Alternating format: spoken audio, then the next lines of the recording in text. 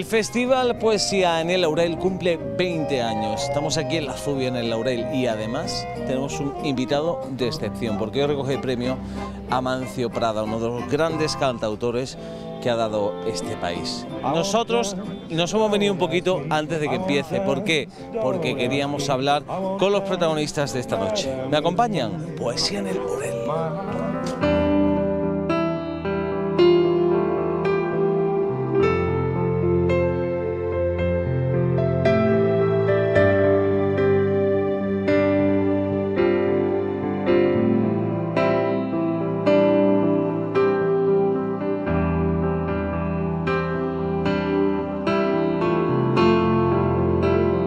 Se lo decíamos al comienzo, nos hemos venido hasta aquí, hasta el Laurel, la Zubia.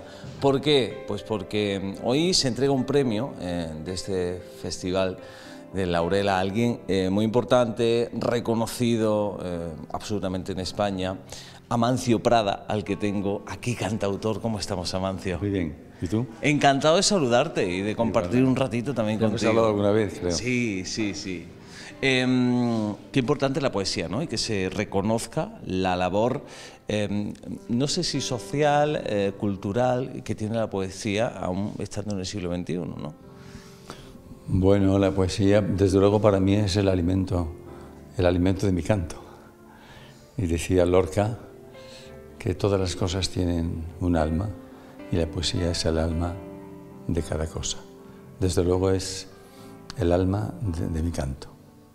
Es lo que me motiva, leer un poema y cuando me emociona tanto que lo siento como si hubiera nacido dentro de mí, porque un poeta tiene valor en, la medida en que lo que dice lo pueden sentir y, y cosentir con él los demás. La resonancia del poema.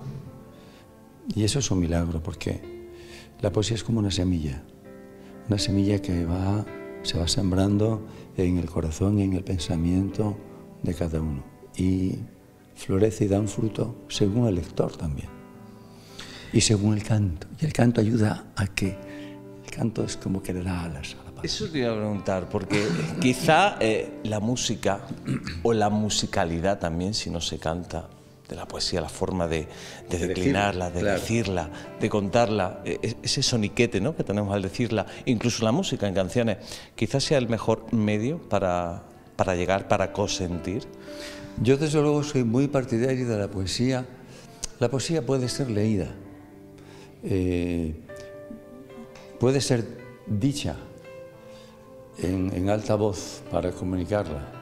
Ya es una forma de como sacarla de, de dentro y, y empezar a compartir. Y puede ser cantada.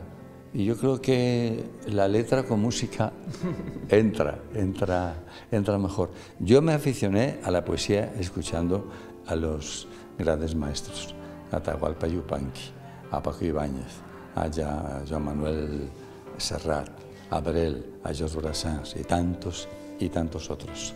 Eh, y también me aficioné a la poesía cuando tienes un buen profesor. Un profesor que es bueno siempre es el que te...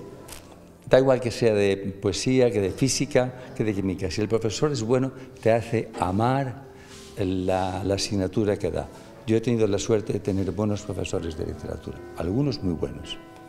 Y que conserva, imagino, en el recuerdo. Se vienen, se vienen a, eh, a la cabeza. José Antonio. Carro Celada, que fue, recuerdo, una vez en clase en bachillerato, eh, nos leía un poemas de Sepulcro en Tarquinia, de Antonio Colinas, por ejemplo.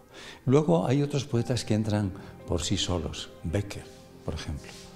Becker tiene dos o tres poemas que yo creo que, por lo menos en mi generación, nos iniciamos todos a la poesía con Volverán las oscuras golondrinas o del salón en el ángulo oscuro veíase el arpa. Y quien dice el arpa dice El piano. dice el piano, ¿no? De hecho, yo compuse la música de aquellas golondrinas con un piano en la residencia de estudiantes en Valladolid, donde yo estaba estudiando, además en el conservatorio, dirección de empresas agrarias, cuidado. El contraste, ¿no? Sí, pero bueno, mi- mis padres eran labradores y el canto Pues yo lo recuerdo desde que era niño. Cantar para mí ha sido como un aliento incesante. Oía a mi padre cantar. Mi padre araba en aquellos tiempos con un arado romano, un arado romano que tiraban de él dos vacas y yo era un niño de 5, 6, 7, 8 años con una vara delante de las vacas. Y él iba silbando, tarareando, surco para allá, surco para acá. Y ese ronroneo, esa salmodia, parece que la iba sembrando en el surco juntamente con el trigo, también en mi corazón. Y luego llegaba a casa y mi madre también cantaba, y cantaba muy bien. Tenía mucho oído y además también hacía teatro. Y eran de, estábamos en un pueblo de ahí, de, del Bierzo. A todos los pero, ingredientes, ¿eh? Sí, pero, pero cuando hay arte, cuando hay, hay genio, pues aflora, aflora. Y entonces aquellas canciones populares, aquellos cantos que yo sigo cantando con mis hermanos, pues sí, hasta tal punto que luego algunos de mis discos están dedicados a esa canción anónima popular. ¿Sabes lo que decía? No sé si era Manuel o Antonio Machado. Eh, hasta que el pueblo las canta, las coplas coplas no son. Y cuando las canta el pueblo, ya nadie sabe su autor. Ese no saber, ese canto anónimo, cuando el canto, el canto se convierte como el canto de los ríos, un canto rodado y adquiere esa suavidad, esa redondez que puede tener ganas de meterlo y vivir con él en el bolsillo tocándolo. Ese es el canto también de la palabra, el canto, el canto llano, que no necesita ni siquiera una guitarra. Por eso decía una vez mi madre, dice, solo para engañar, para engañar, tengo una guitarra, solo para engañar, para engañar, sin cuerdas ni nada. Ahora que, que, hablas un poco de, la tierra y demás, si, si, si tomamos el folclore, ¿eh? como todo aquello que nace de la tierra, la poesía, el canto de autor, todo esto forman parte del folclore. Yo siempre digo que Lorca es puro folclore. Hombre, el Lorca, Lorca está muy en la tierra, está muy en la tierra, esas obras que tiene, Bodas de Sangre, La Casa de Bernarda Alba, eh, y toda la poesía, toda la poesía, eh, la tierra está muy presente porque también él era de una, de una familia eh, labradora y, el canto ha poblado ese, ese... ha sido una consolación para tanto esfuerzo, para tanto sudor. Amancio, ¿qué supone, y antes de, dejarte ya que te prepare, em, recibir un premio? Y no sé si uno se acostumbra eh, a, recibir premio por muchos que, lleguen, uno como el del No, no se puede acostumbrar, sería, sería mm, una desafección acostumbrarse a no hay que acostumbrarse a nada, pero menos a las caricias. Y cada premio es una caricia. Y el premio de poesía en el Laurel mm, me parece que es algo, a mí me, me, anima y me estimula. Y creo que es un premio también, fíjate, eh, antes pensaba, ¿y qué vas a decir? pues seguramente me falten palabras, pero creo que no me, no me faltarán canciones. Pero también es un premio para los organizadores de este festival que cumple 20 años, diciendo la poesía, poniendo a la poesía a la sombra luminosa del laurel. El laurel que también está muy presente en, el canto popular, sobre todo en Galicia. Loureiro arrimeime a ti, loureiro en, en, en gallego se dice laurel, se dice loureiro. Arrimeime a ti coidando que eras calado, pensando que eras callado, me arrimé a ti, laurel. Loureiro, linguereteiro, todo te es lingueretado. Loureiro deslenguado, lo has contado todo. has contado hasta la leyenda de Isabel la Católica cuando estaba aquí. En esto. Sí, hay muchas poesías del, del laurel porque es un árbol yo recuerdo el laurel como uno de los primeros árboles de mi infancia, porque en el pozo donde íbamos a sacar el agua para, para, la casa, con un caldero y una roldana, a la sombra, no, no a la sombra, sí, a la sombra del laurel estaba aquel, aquel pozo, como bendiciendo el agua. Qué, gozo eh, compartir que sea un ratito contigo, Mancio. Muchas gracias Para por mí venir a Granada es siempre una, una, delicia. Ya tengo la sensación de que en vez de un corazón tengo una granada aquí dentro. Oye, no, no es mala cosa, ¿eh? No es mala cosa. Gracias. Gracias a Granada, el alma.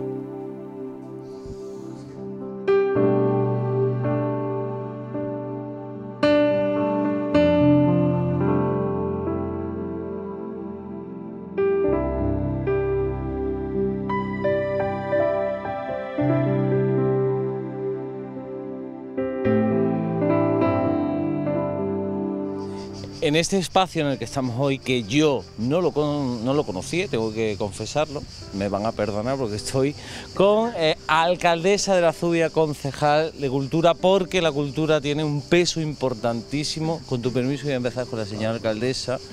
Eh, un festival que cumple 20 años, que se dice pronto, ¿eh? Así es, celebramos su 20 aniversario, estamos contentísimos de celebrar eh, bueno, pues, su cumpleaños, por decirlo de alguna forma, y sobre todo por la trayectoria que ha tenido este festival, por la cantidad de poetas que han pasado durante estos 20 años, de un calado importantísimo, tanto nacional como internacional, todos los cantautores y músicos que, nos han acompañado y, bueno, y que cada vez vaya cogiendo más fuerza y esté más presente en la agenda, de, por supuesto, del mes de agosto, no solo de la provincia, sino de toda Andalucía e incluso de fuera en el laurel, que no solo es espacio, sino que también tiene una connotación poética que invita mucho a esto. ¿eh? Efectivamente, la verdad es que em, muchas veces la gente nos traslada que se agotan las entradas, que, pero no sería lo mismo celebrar este evento en otro sitio. Estos jardines con la historia que tienen, con las leyendas que tienen, con los entresijos, con las chicharras de fondo, que no sé si se aprecia, no sería lo mismo eh, este festival en, otra ubicación que no, fuese, que no fuese aquí, en estos jardines del convento de San Luis. Eh, eh, concejal, tú que algo de idea de literatura y de poesía tienes, ¿no? Un poquito, sí. aficionado, soy aficionado. Te he escuchado hablar antes con Amancio y decía, esto comenzó cuando yo tenía 10 años. Efectivamente, yo era un niño cuando empezó, entonces el Festival de Poesía en el Laurel forma parte del, casi del paisaje de la Zubia, ¿no? Uno sabe que que en verano pues aquí se lee poesía, aquí se, hace música y, bueno, para mí pues es un honor servir ahora de, continuador de, ese patrimonio que ya forma parte del pueblo. Tú que sabes un poquito de, cantautores, de poesía, de autores, em, ¿qué significa Mancio? Bueno, mm, como siempre, tener a, un cantautor del renombre de Amancio Prada, pues es un, autor. Como decía Puri, por este festival ha pasado la creen de la creen, ha pasado lo mejor del panorama nacional e internacional. Entonces, pues, ¿qué decir? Pues un honor, un absoluto honor tenerlo aquí, claro. ¿Cómo se consigue, Puri, que tanta gente de renombre importante llegue hasta la Zubia, hasta un pueblo de Granada, donde se pone en valor la poesía?